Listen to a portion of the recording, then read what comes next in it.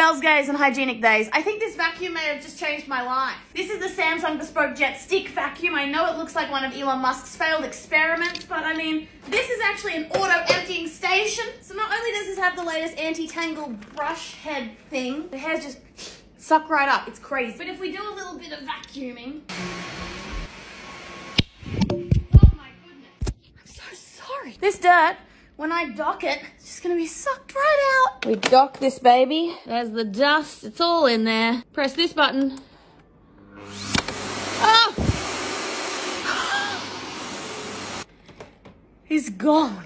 I know. And Samsung wants me to return this because it's on a review loan. You really think you're gonna send me something like this and I'm gonna go back to tap, tap, tapping the dust out of the vacuum over the bin?